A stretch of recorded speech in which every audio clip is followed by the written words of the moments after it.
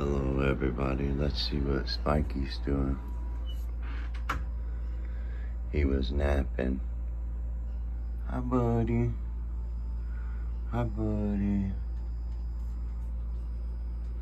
He naps under his heat lamp. That's why he's sideways. He must look how fat he's getting.